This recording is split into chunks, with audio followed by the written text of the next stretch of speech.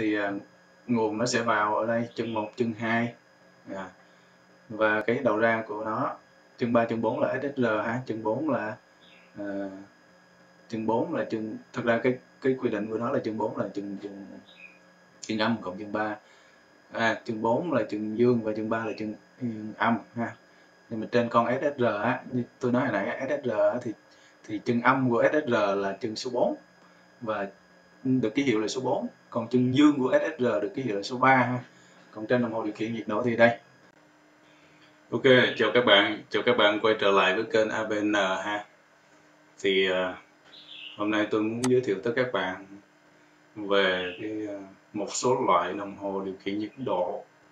À, một số model, chính xác là một số model của đồng hồ điều khiển nhiệt độ của cái hãng RKC ha của hãng RKC thì hãng RKC thì nó nó có một số loại à, đồng hồ điều khiển nhiệt độ thông dụng như sau. Thì à, ở đây chúng ta thấy về hình ảnh của các loại đồng hồ. Thì ở đây chúng ta có là loại uh, CH102 CH502 uh, rồi ờ, CH402 702 ờ, và CH902 ha. Thì các loại đồng hồ này thì nó có những cái ờ, đặc điểm chung và những đặc điểm khác nhau như thế nào? Thì chúng ta sẽ xem sơ qua về một số thông số cơ bản của các loại đồng hồ này ha. Thứ nhất thì chúng ta có cái loại là CH102 thì cái CH102 này á, thì kích thước bên ngoài của nó sẽ là 48 nhân 48 nhân 75 ha. Thì nó là mặt nó vuông 48 và nó dài là 75 à, nó dài 75 và cái à, cái lỗ mà chúng ta cần khoét ha, lỗ chúng ta cần khoét để có thể là gắn cái đồng hồ này vào thì nó có kích thước là 45 x 45 vuông thì 45 x 45 thì là chúng ta sẽ vừa để chúng ta lắp cái à, chúng ta khoét một cái lỗ vuông 45 x 45 mm thì sẽ vừa để lắp cái đồng hồ CH102 này ha. Tiếp theo đó là CH104 CH104 thì nó có cái kích thước là 48 x 96 x 75 hầu hết các à, hầu hết các à, model của loại RKC này nó đều có cái chiều dài tương đương nhau ha từ 75 mm 75 mm với cái thằng CH1 là 402 á, thì chúng ta cần khoét cái lỗ là 45 nhân 92 ha. À, trên cái tụ điều khiển á, chúng ta cần khoét cái lỗ 45 nhân 92 để gắn nó vào. Còn CH502 thì sao? Thì nó có kích thước là 96 nhân 48 nhân 75 ha. À, thì chúng ta cần khoét một cái lỗ 92 nhân 45 để gắn nó.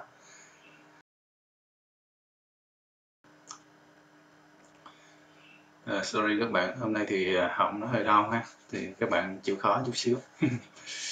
uh, tiếp tục đó là loại CH702 ha, 702 thì chúng ta sẽ có cái kích thước là 72 x 72 x 75. À, ở đây nó ghi cũng chi tiết rồi. Ở đây thì có là đối với CH902 thì kích thước của nó là 96 x 96 ha. Ok. Thì uh, loại này là vuông, chúng ta cần quét một cái lỗ vuông 92 x 92 để gắn nó vào trong cái tổ điều khiển. À, đó là một số thông số cơ bản của một số loại thông dụng của thằng RKC ha. Đồng hồ điều khiển nhiệt độ RKC thì nó có gồm có những cái model như thế này. 1 2 3 4 5 năm loại cơ bản. À, đây là kích thước bên ngoài và đây là kích bên này là kích thước cần phải khoét à, cần phải khoét cái lỗ trên cái tổ điều khiển để gắn nó vào. À, khoét cái lỗ để, để trên tổ điều khiển ha để mình gắn nó vào thì một số thông số cơ bản. Đây, ở đây nó cũng có một số thông số bình thường thôi ha. Cái này thì khi chúng ta mua cái đồng hồ điều khiển nhiệt độ về, chúng ta sẽ có một cái menu, một cái ờ, giấy gọi là thông số kỹ thuật á, thì nó cũng đã ghi ờ, rất là rõ ràng. Nhưng mà thường nó sẽ ghi bằng tiếng Anh thôi ha, chứ không có ghi bằng tiếng Việt. Ừ, các bạn có thể dịch qua cũng được, không sao.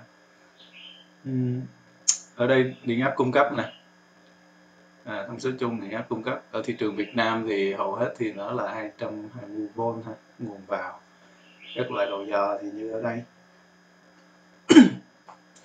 Ok những cái này á, thì cái thông tin này cái file này mình sẽ lát nữa mình sẽ đính kèm một cái file.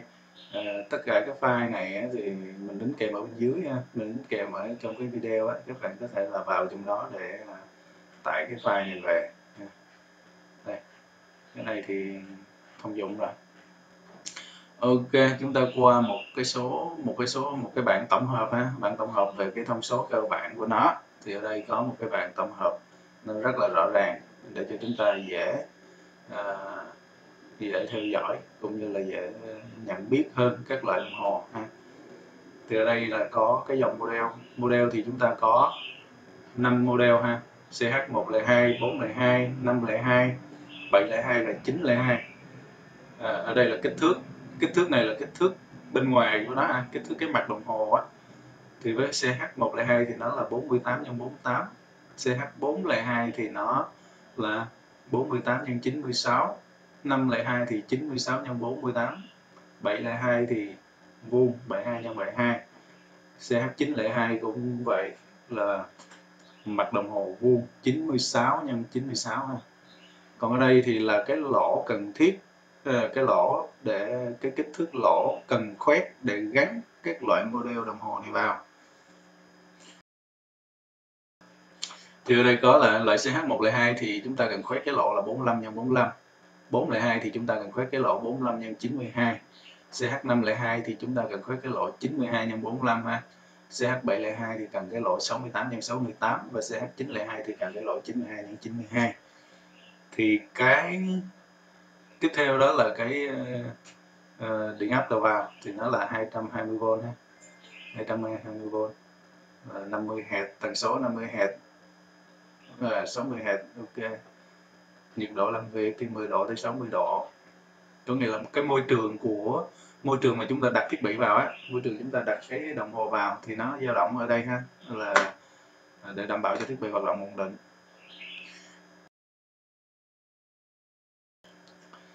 Thì ở đây à, chế độ điều khiển ha.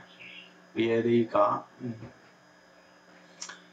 Rồi à, các loại đầu dò đầu dò đầu dò nhiệt độ ha các loại đầu dò nhiệt độ à, được sử dụng thì loại K, E, G và PT100 loại sử dụng thông dụng nhất vẫn là cái loại mà PT100 với loại K.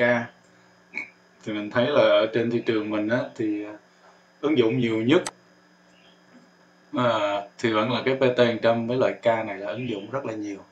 À, tại vì nó phổ thông á, nó không có gì quá đặc biệt. Nó phổ thông nó dạng phổ thông rất là thông dụng. Thì ở đây có cái uh, ngõ ra ha.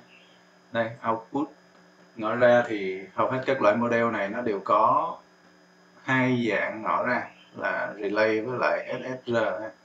thì hiện tại trên thị trường nó cũng có rất là nhiều loại uh, đồng hồ điều khiển nhiệt độ.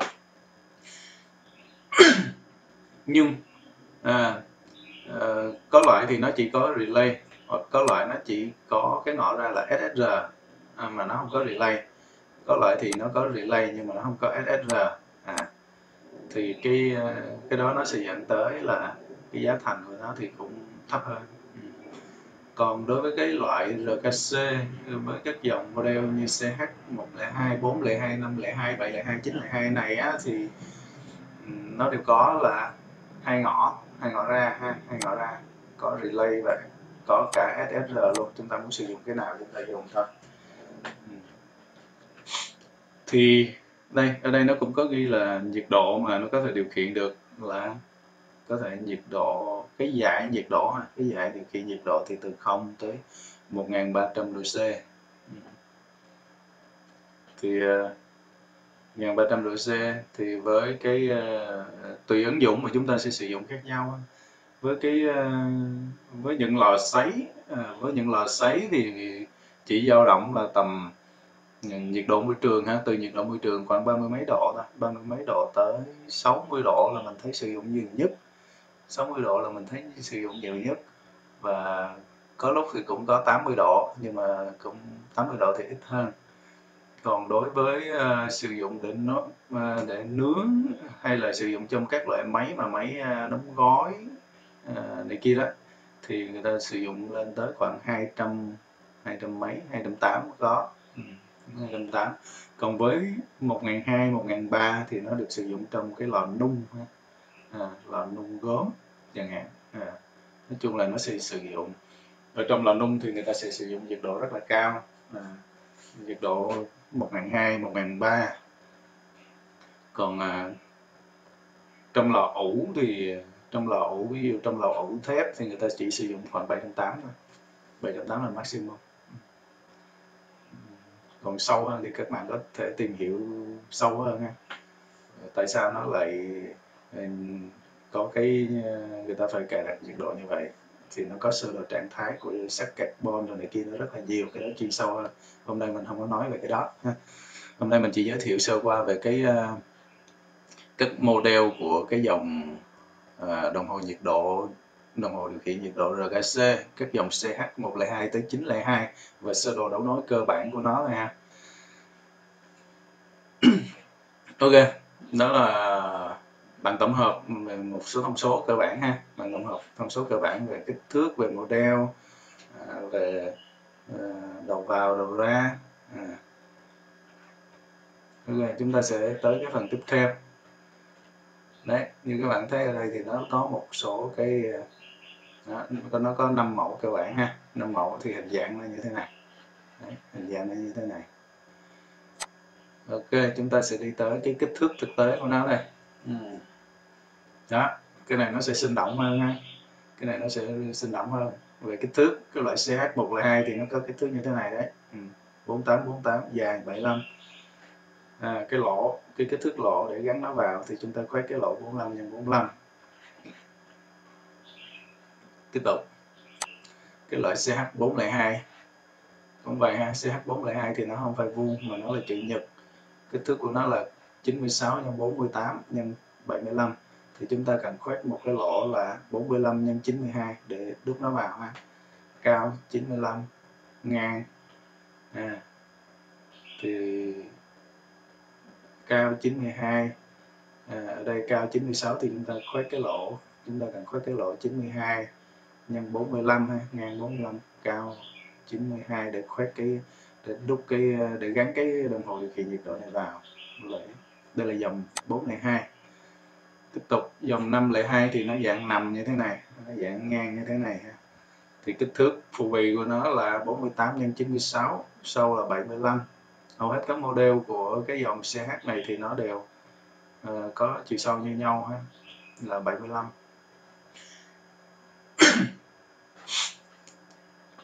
rồi thì chúng ta cũng cần khoét một cái lỗ là 92 x 45 ha để gắn nó vào.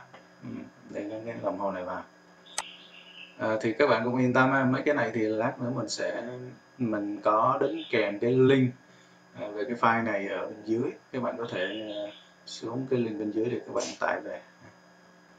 Đấy.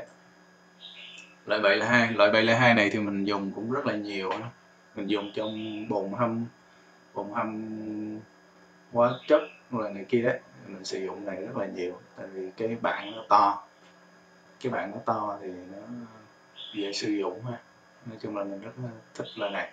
Loại 702 với loại 102 là mình dùng nhiều nhất. Loại 702 thì mình thường dùng trong nhà máy, dùng cho cái việc mà hâm hóa chất đồ này kia thì mình dùng cái loại 702 nhiều. Còn đối với loại 102 thì mình cũng dùng rất là nhiều trong cái lò sấy ha thì trong cái lò sấy sấy sơn, sấy thực phẩm đồ này kia thì mình hầu như là mình sử dụng cái loại này là chính. Ừ. Ok, cái dòng 702 702 thì CH 702 thì chúng ta cần khoét một cái lỗ là 68 x 68 mm ha để gắn nó vào. Dòng 902 này cũng vuông luôn. 902 thì cần một cái lỗ là à, cần khoét một cái lỗ trên bảng điều khiển là 92 x 92 kích thước phổ biến của nó là 96 x 96 tiếp tục chúng ta sẽ qua à, về cái uh, sơ đồ cơ bản trên cái thân của cái ờ, các loại đồng hồ ha. Uh, về hình ảnh bên ngoài mặt trước mặt sau và bên hông của nó thì chúng ta sẽ uh, xem sơ qua. Thứ nhất là cái mặt trước của loại CH102 thì nó như thế này vuông CH102 ký hiệu của nó thì ở đây ha. Thì cái sơ đồ và cái chân của nó thì như thế này ha sơ đồ thì ở đây. Một hai lúc nào cũng là chân cấp nguồn hết nói chung là 220V ở đây thì chúng ta có có cái gì? Ở đây chân 34 là chân SSR ha chân 34 SSR trên này tại vì trong cái hình này chúng ta hơi ờ, khó nhìn chút xíu thôi bên này chúng ta sẽ không có thấy thấy được uh, số ha đánh số về cái chân. Nhưng mà trên này nó sẽ có đánh số nha. Ví dụ này 1 2 3 4 ha. À, nó như vậy thì nó sẽ có đánh số ở đây. Chúng ta xem kỹ đây nó sẽ có số ha.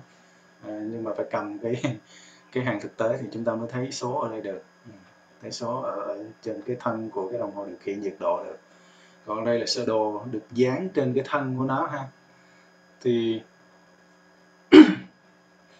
đây là đầu ra SSR nếu chúng ta chỉ sử dụng SSR thì chúng ta sẽ gắn đây. À, còn ở đây là cái à, uh, 56 là relay ha. 56 là uh, một cái tiết điểm thường mở để chúng ta uh, đấu nối với cái uh, relay còn chân 8 đây. Chân 89 là alarm. Ở đây có một cái alarm một thôi. Ừ. Alarm này cái này thì mình dùng rất là nhiều và thường thì um, các bạn có hỏi là um, làm thế nào mà khi đủ nhiệt độ thì khi đủ nhiệt độ cài đặt thì uh, cái uh, đồng hồ đếm thời gian nó bắt đầu đếm á, và duy trì. Thì lại là mình dùng nhiều và cái à, thì chúng ta sẽ lấy tín hiệu từ đây ha từ chỗ alarm này chúng ta có thể lấy, nói chung là có rất là nhiều cách, nhưng mà trong đó có một cách là đơn giản nhất thì lấy tín hiệu từ cái alarm này để cấp cho cái đồng hồ điều khiển nhiệt độ ha. Thì ở đây chúng ta thấy alarm nó có một cái gọi là tiết điểm thường mở. Thì khi đủ nhiệt độ thì nó sẽ đóng lại. Thì chúng ta sẽ có thể lấy cái tín hiệu này để cấp nguồn cho cái đồng hồ điều khiển nhiệt độ. Thì khi à, nhiệt độ à, đạt tới mức nhiệt độ cài đặt thì tiếp điểm này đóng lại thì đồng hồ nó sẽ có tín hiệu và nó bắt đầu đếm ừ, như vậy thôi. Thì tôi sẽ uh, tôi sẽ chắc là tôi sẽ làm một cái video chi tiết hơn về việc đấu nối cái à, cái tiết điểm này ha cái đấu nối tiết điểm này. Uh,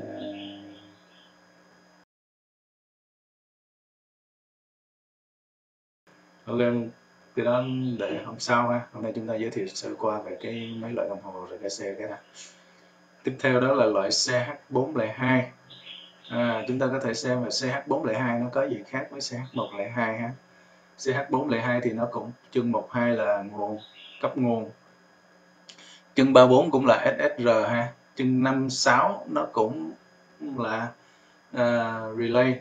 À, là một cái tiếp điểm thường mở. Ừ, cấp tín hiệu cho relay còn ở đây nó có khác một lại hai là nó có là alarm 1 và alarm 2 ở đây thì chỉ có alarm 1 thôi.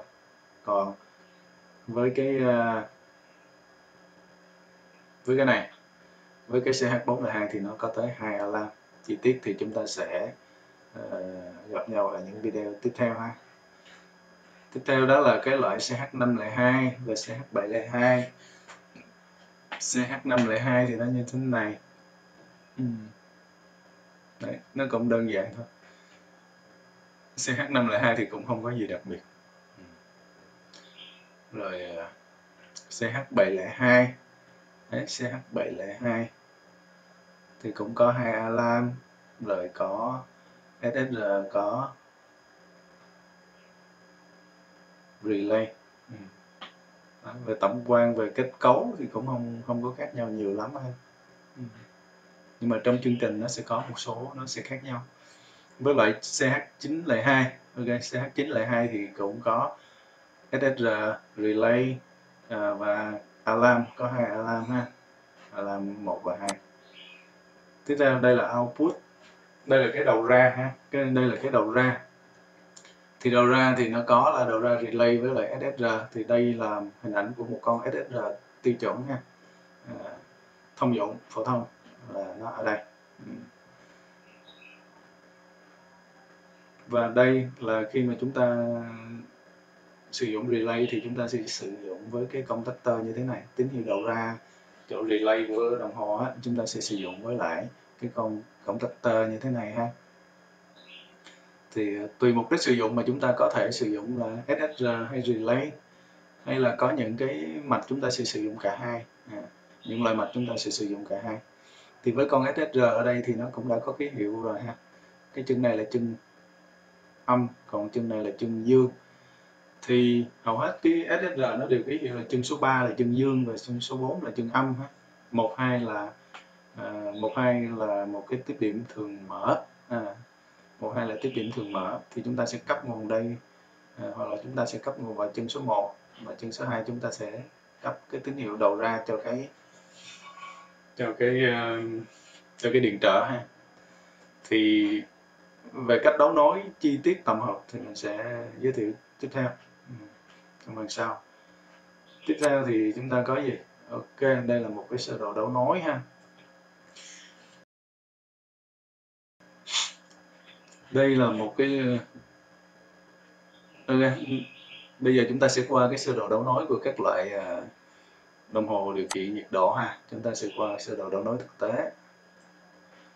Thì ở đây à, ở đây thực ra là ký hiệu âm dương này cho nó dễ biết thôi. Chứ thực tế nó là nguồn đây là nguồn 220 và à, cái à, màu đỏ là dây pha và màu xanh nó là dây trung tính ha.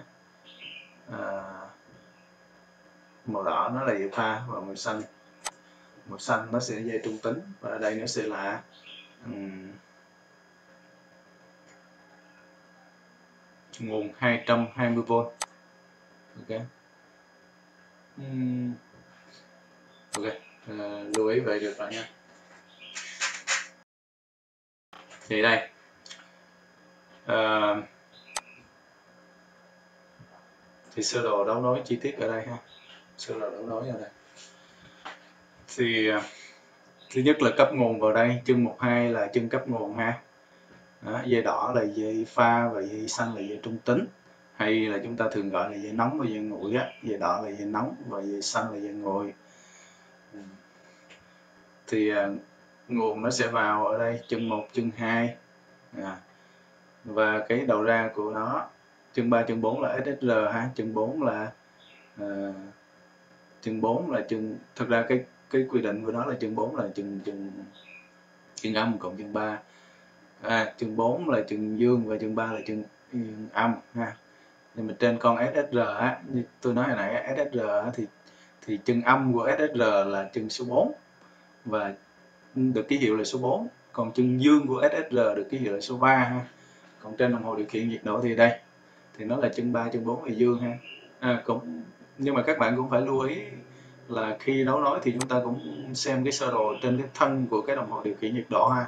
Thường sơ đồ này cái sơ đồ này á sơ đồ chân á thì nó dán trên cái thân á chúng ta phải xem kỹ cái đó chứ không phải lúc nào nó cũng ba bốn là ba là, là là âm và bốn là dương đâu. À, tại vì cái thằng CH ví dụ như CH một là hai thì à, có lúc nó sẽ là cái gì? Chân ba là chân âm và chân bảy là chân dương. À, đấy các bạn cũng phải để ý cái đấy ha có mẫu thì nó là ba, bốn là chân âm dương. Còn có mẫu thì nó sẽ là ba với bảy. Chúng ta phải để cái sơ đồ này.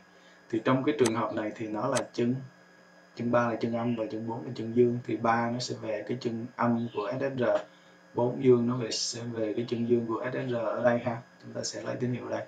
Đấy cấp vậy thôi. Thì cái đầu ra này thường là 12V ha. Đầu ra của khi mà chúng ta lấy đồng hồ chúng ta đo cái tín hiệu DC ở đây à, DC ở đây thì nó chỉ có nó là tầm 12V ừ. còn khi mà à, chúng ta muốn đấu nối với lại cái thằng gì? Relay. Đây được coi là cái relay ha. Relay có nghĩa là thiết bị uh, qua cái tiết điểm khác. Uh, ví dụ như ở đây chúng ta đấu ngoài là conductor thì theo sơ đồ thì chúng ta có gì? Theo sơ đồ thì chúng ta sẽ có chân 8 9 ha. Relay là chân 8 chân 9 ha. 8 9 Đấy. À, alarm đấy, sorry sorry các bạn. Sorry các bạn thì alarm là chân 8 9 còn relay là chân à, 56 ha. 56 thì ở đây.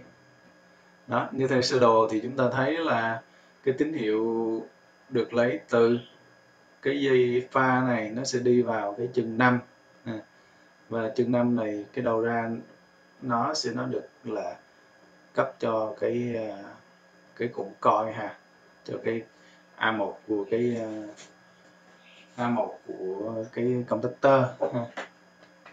và A2 contactor được đấu với dây trung tính ở đây. À, ở đây gọi là ở đây contactor là contactor 220 ừ. thì đấy. Đó thì bản chất của cái năm sáu thì nó chỉ là tiết điểm thôi ha. Cặp tiết điểm thường mở. Ừ. Thì à, đấy sơ đồ cơ bản của nó như vậy. Còn ở đây là ở đây 10, 11, 12 là cái chân để đấu nối cái uh, đầu dò nhiệt độ ha cái cảm biến nhiệt độ thì sẽ được đấu ở đây. Tại vì cảm biến nhiệt độ chúng ta có hai loại. Một loại là Ờ, có ba đầu dây và một loại là có hai đầu dây. Thì loại sử dụng rất là thông dụng là loại hai đầu dây. Thì loại hai đầu dây thì chúng ta sẽ đấu vào cái chân 11 và 12 thì chân 11 là chân dương nha, và chân 12 là chân âm. Thì trên cái đầu giờ nhiệt độ nó cũng đã có cái quy định về màu. Đó là màu đỏ là màu dương và màu xanh là âm. Thì khi chúng ta gắn cái ờ, cảm biến nhiệt độ vào đây thì chúng ta chỉ cần là dây đỏ chúng ta gắn vào chân 11 và dây xanh chúng ta gắn vào chân 12 trong trường hợp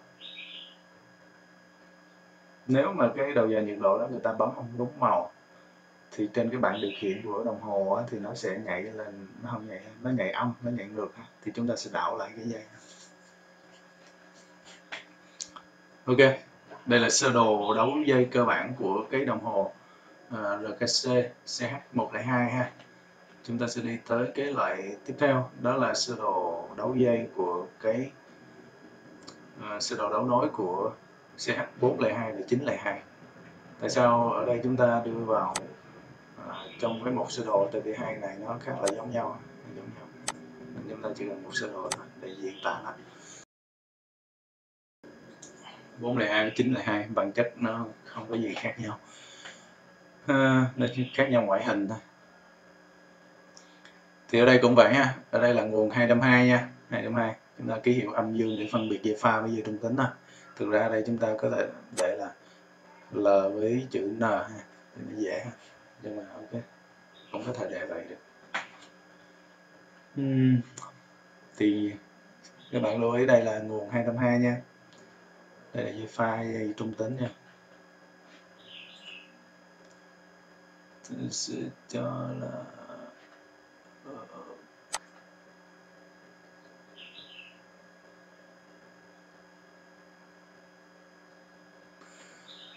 ok.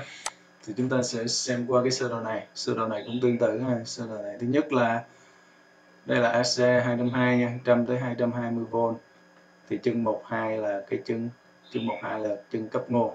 Thì đây. Theo sơ đồ là chân 12 chân cấp nguồn thì sơ đồ chúng ta có đây. 12 cấp nguồn. Một là dây pha, hai trung tính ha. Đầu ra vẫn vậy. Đầu ra SSR thì chúng ta sẽ lấy cái tín hiệu đây. Âm dương đây. Âm dương riêng khi mà, riêng việc khi mà các bạn sử dụng SSR thì các bạn cũng phải lưu ý là đấu cho nó đúng nha. Chân dương ra dương, âm ra âm cho nó đúng nha. Rồi. Tín hiệu tiếp theo đó là relay nha. lấy tín hiệu cho cái thằng à, contactor ở đây. Thì chúng ta sẽ cấp nguồn vào, tại vì bản chất của tiếp điểm 56 này là một cái tiếp điểm thường mở thôi ha. Khi đồng hồ nó hoạt động thì cái tiếp điểm này nó bắt đầu đóng nha. Tiếp điểm tiếp điểm này nó sẽ bắt đầu đóng khi mà đồng hồ nó hoạt động. Thì cái tín hiệu lấy đây 5 và đầu ra, đầu vào là 5 đầu ra là 6 để cấp nguồn cho cái công tắc tơ ha. Công tắc tơ này thì tùy mục đích sử dụng mà chúng ta gắn cái gì chúng ta gắn ha. Chúng ta có thể gắn điện trở ở đây cũng được, gắn quạt ở đây cũng được. Đối với lò sấy thì chúng ta có thể gắn quạt ở đây gắn quạt ở đây gắn quạt thổi á cái quạt thổi nhiệt á ở đây. Được hết. Tiếp theo là chân 89 chúng ta sẽ có chân 89 ha. 789 thì chân chính là chân chung. Ở đây nó quy định rồi ha. Theo sơ đồ này chân chính là chân chung. À, chân 8 là chân đầu ra nè. 8 là A51 7 A52 thì ở đây là chúng ta sẽ có là chân chính chân chung thì lấy nguồn vào cái chân chính rồi nguồn ra là chân số 8 được cung cấp cho alarm cái chân alarm này cũng có rất là nhiều nhiều tác dụng ha. Ngoài việc là đèn báo ra thôi thì nó còn có thể lấy uh, tín hiệu cho cái quạt quạt uh, hút á. Ví dụ trong loại sấy thì có thể lấy tín hiệu cho cái quạt hút ẩm từ chỗ này. À, từ chỗ cái alarm này chừng này chúng ta sẽ có thể là lấy tín hiệu cho quạt hút hút ẩm. Ở đây cũng vậy nó vẫn là 10 11 12 vẫn là chỗ để lắp cái cảm biến nhiệt độ ha. Ok, loại 4 lại 2 với 9 lại 2 thì nó có sơ đồ rất là giống nhau. Tiếp theo chúng ta sẽ có một cái loại nữa, đó là loại 7 lại 2 nó cũng vậy ha 7 lại 2 thì ở đây. Ok, thì nó vẫn là chân 1 2 chân nguồn 3 4 là cho SSR 5 6 thì cho relay. Và ở đây thì nó lại có cái chân là chân 12 là chân chung. Và chân alam là chân 10 và 11 ha ở đây. Ừ. Đấy. thì chỗ alam thì chúng ta có thể sử dụng tùy ý.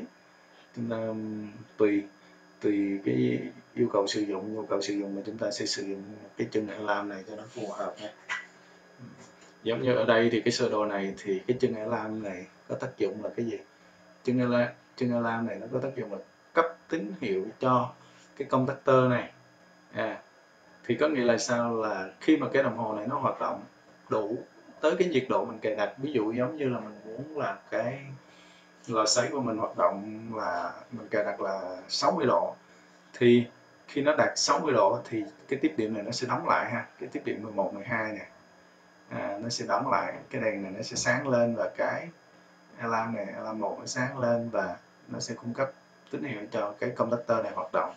Thì sơ đồ này là sơ đồ cơ bản cho cái um, điều khiển nhiệt độ lò sấy bằng cái đồng hồ CH702 và SSR ở trong này SSR có chức năng là cấp nhiệt cho cấp nhiệt cho cái bồn sấy. Và cái công tắc tơ này à, có chức năng là à, bật cái quạt hút ẩm khi nó đạt tới cái nhiệt độ mong muốn thì cái tơ này nó sẽ làm việc và nó sẽ hút ẩm trong cái ờ, buồng sấy ra. Ừ. thì đây là một cái sơ đồ ứng dụng cơ bản nhất của cái loại CH702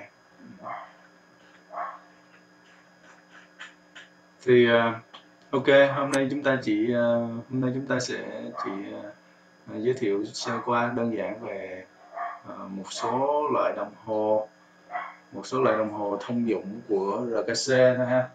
À, à, năm cái model thông dụng nhất của RKC à, và một số thông số cơ bản. Với lại cái sơ đồ đấu nối cơ bản nhất của cái các loại model này ha. Sơ đồ đấu nối cơ bản nhất của các loại model này. Thì cái file này, này cái file sơ đồ này thì mình có để ở link bên dưới video. Thì các bạn có thể tải về ha để sử dụng ok nếu mà các bạn thấy hay có ý nghĩa thì nhớ là cho mình một like và một subscribe kênh ha. À, hẹn gặp các bạn ở video kế tiếp. Thì ở video kế tiếp chúng ta sẽ nói chi tiết hơn về cái uh, sơ đồ đấu nối bao gồm thiết bị đầu vào đầu ra luôn ok chào các bạn. Hẹn gặp lại các bạn ở video sau ha.